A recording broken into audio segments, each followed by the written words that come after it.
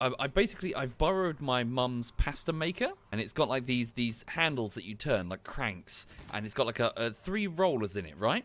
The 1st mm-hmm. roller is like a roller roller for flattening the pasta, and then the next two are for making like tagliatelle. And the next one is like a really thin gauge one for making noodles. Before I used it, it was really dusty just coming out of this, so I'm just sort of wiping it with the dishcloth. And as I'm turning the crank, the edge of the dishcloth gets caught. I'm like, oh.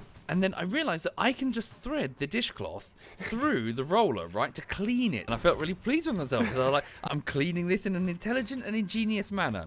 I moved to the next crank, put the dishcloth in there, started cranking, and obviously it's the cutter. So all I did was make dishcloth tagliatelle and felt very stupid. It was my only dishcloth.